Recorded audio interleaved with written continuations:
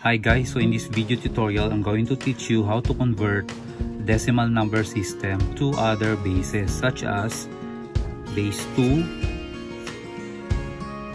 base 8, and base 16. So given a number in decimal, I'm going to teach you how to convert it to base 2, base 8, and base 16. Okay, so say for example, we are given the decimal number 42. So how do we convert this to other bases in base 2, base 8, and base 16? So let's start first converting it to binary. So to convert decimal to binary, we simply divide the decimal number by 2. So we have 42 divided by 2. 42 divided by 2 is 21. So 2 times 21 is 42, therefore there is no remainder.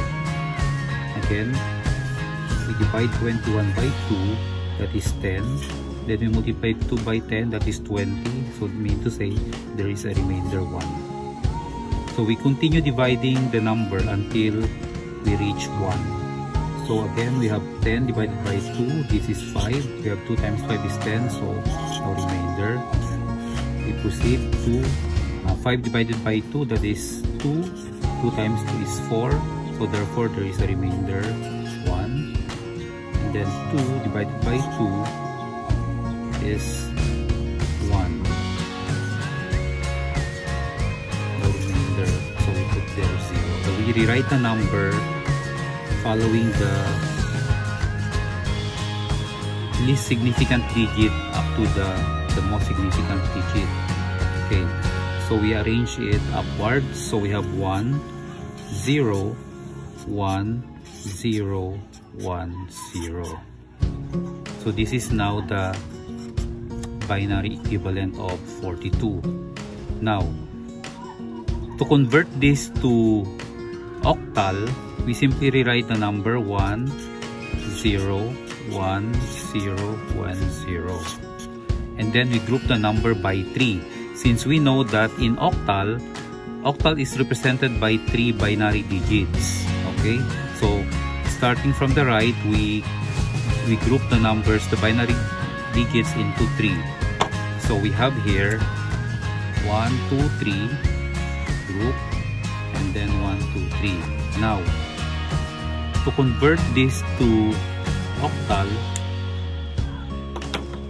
we follow again the positional value which is 1, 2, 4 and then 1, 2, 4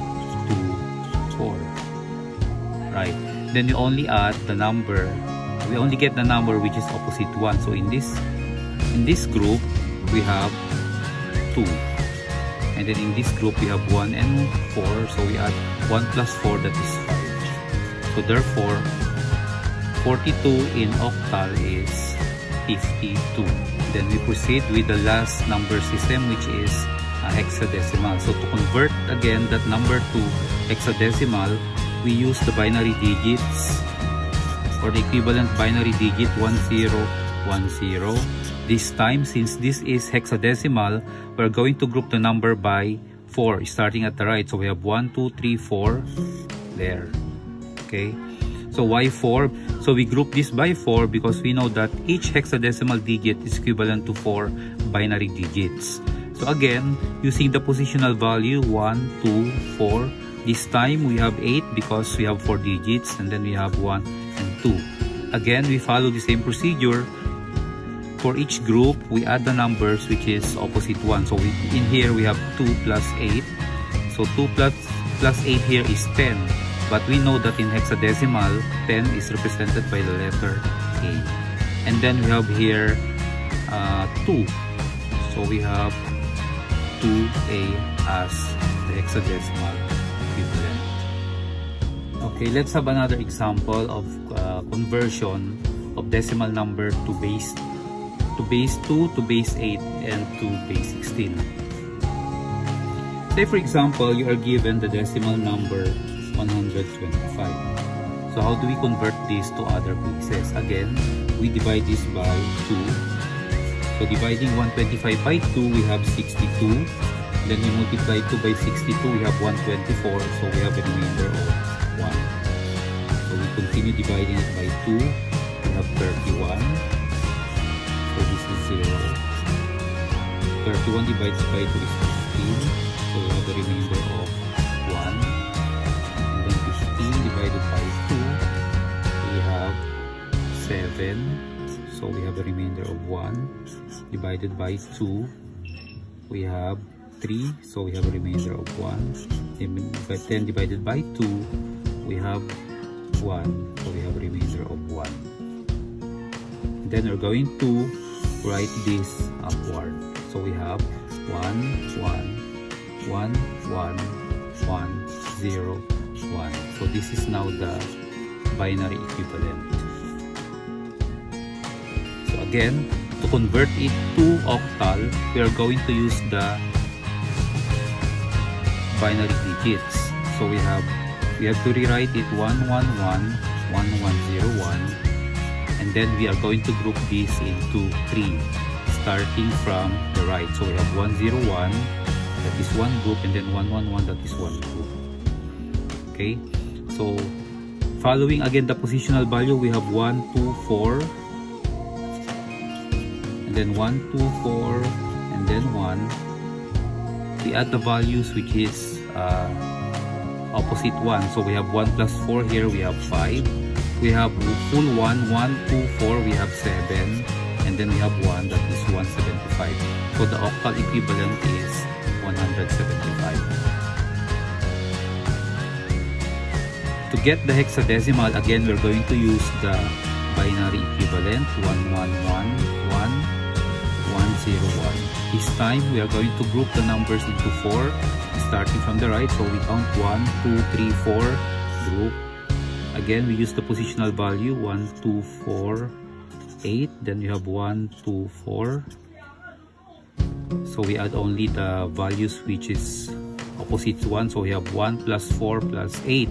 So 8 plus 4 here is 12 plus 1, 13. But we don't use 13 in hexadecimal. So we write D because that is the equivalent of 13 and then we have full we have full ones here. We have 1 2 plus 4 we have 7 so the answer is 7 D. That is the hexadecimal equivalent. We are still on the conversion of decimal numbers to other bases so let's have our last example. Say you are given 210 in decimal. So how are we going to convert this to other bases? So, so that we could easily get the octal and the hexadecimal equivalent, we are going to convert this first to binary. So to do that, we group or we divide it by 2. So 210 divided by 2, we have 105. Then we multiply it. If there is no carry, we put here 0. 205 divided by 2, we have 52. So if 2 multiplied by 52, we have 104. So we have a remainder of 1. If again, divided by 2, we get 26. That is 0 remainder. Grouped by 2, divided by 2, we have 13. Again, 0 remainder. Divided by 2, we have 6. That is remainder 1. Divided by 2, we have 3 remainder 0 and then we divide it by 2 we have 1 remainder 1 so we are going to write this upwards here. So we have 1 1 0 1 0 0 1 0 so this is now the binary equivalent. Now out from the binary equivalent we can easily get the octal and hexadecimal equivalent. So we simply rewrite 1, 1, 0, 1, 0, 0, 1, 0.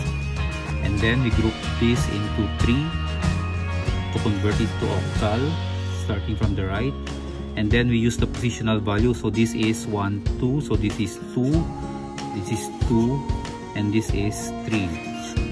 So the octal equivalent is 3, 2, 2 okay convert it again to hexadecimal we simply rewrite the numbers and then this time we group it into 4 so we have 2, 3, 4, 1, 2, 3, 4. And then using the positional value, we have 1 and 2, 2. This is 1, 2, 4, 8. So 4 plus 8 is 12 plus 1 is 13. So 13 is Hexadecimal. So the hexadecimal equivalent is D2.